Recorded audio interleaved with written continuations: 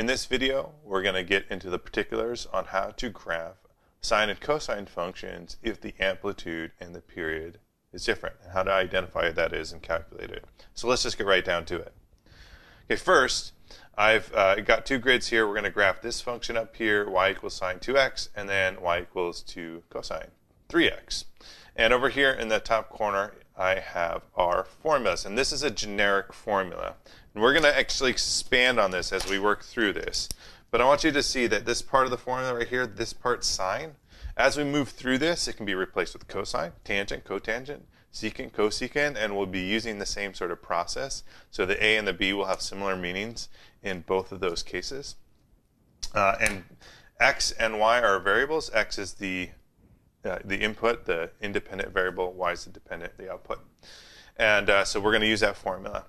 Next, in this formula, the amplitude in this formula is just simply given by whatever number a is. So the amplitude is a, simple enough. The period, and I'm using this Greek letter, this is the Greek letter tau.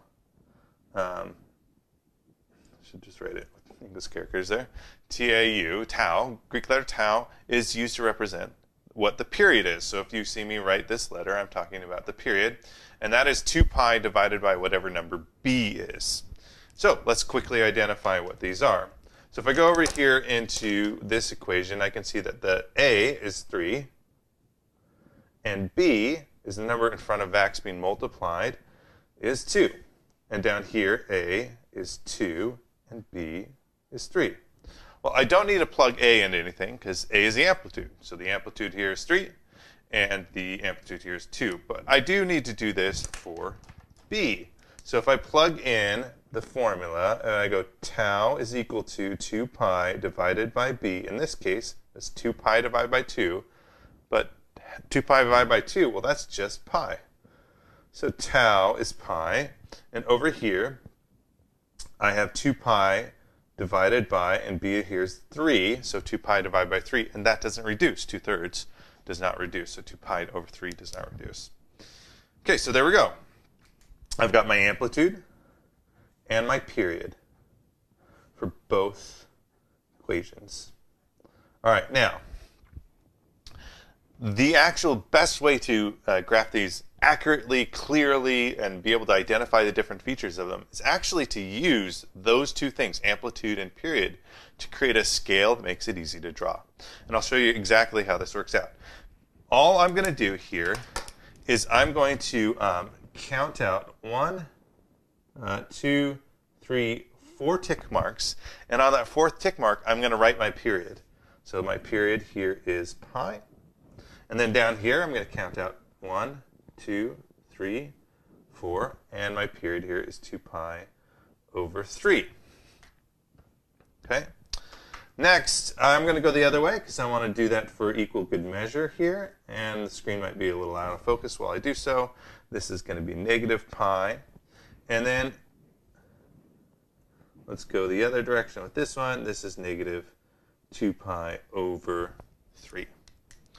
Okay, well that means that this one here is halfway, so this would be pi over 2, which would make this one pi over 4. Likewise, halfway here would be pi over 3, because half of 2 pi is 3 pi, oh, just 1. So this would be pi over 3. And so uh, we don't need to identify all the marks, but that's what's happening. And here's what's nice about it is if you split up the period into four sections, and we're going to look at the unit circle in just a second, section, second, uh, that makes it really easy to graph. So let's go over to that unit circle. So let me see if I can just swap this over. Here's the unit circle. And what we're going to do is we're going to look at uh, where uh, we're going to go by quarters. So we're going to start at 0, then we're going to go up to pi over 2 where 90 degrees is, and then over to pi, that's where 180 is, and then down to 3 pi over 2, that's where 270 degrees is, back to 0 or 360 degrees or 2 pi and continue that cycle. So if I do that for sine, that's the y coordinate. That goes 0, then 1, then 0, then negative 1. So 0 is the middle, 1's the top, then it goes back down to 0, and then it goes down to the bottom, a negative 1, and then it goes back to 0, up to the top, and so it has this cycle.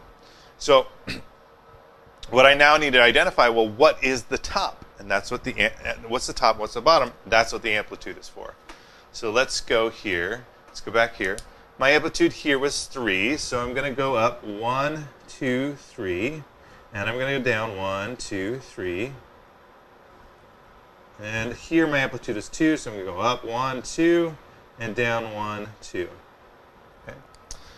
All right, now, here's the part where we, we have some differences between sine and cosine. Everything to this point is exactly the same. It's now when we go to graph, where do we start? And if we remember in the last video, sine started at the middle. It started at 0. And cosine started at its top and then went to 0. So sine started in the middle, then went to its top and then uh, uh, cosine started at its top, went down to the middle. And that's every sort of quarter frame. Okay?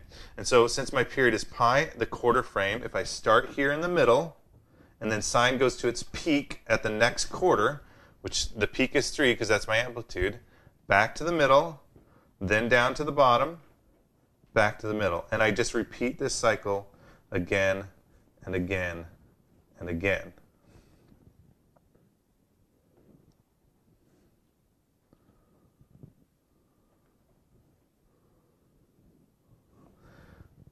Okay, so there's the sine graph. Sine again starts in the middle, starts at zero, um, and then goes up, and then back to the middle, down, up.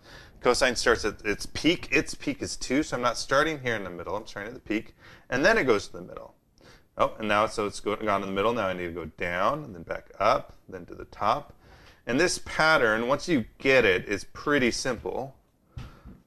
But it might take you a little bit, a little bit of time to wrap your head around it, and that's okay but you'll get there. And these are two key patterns, sine and cosine, very similar, just it's about where they start and where they go next. It's a little bit different. And we'll do next week, we'll do some, uh, we'll start going into tangent and cotangent and cosecant and secant. Uh, but if you get this basic pattern here, you've got your firm foundation for where we move ahead. All right, there you go. There's an introduction to graphing sine and cosine using the amplitude and the period. And next week we'll do tangent, cotangent, secant, and cosecant. And then the week after that we'll start talking about what happens when things shift around with vertical shift and phase shift. See you then.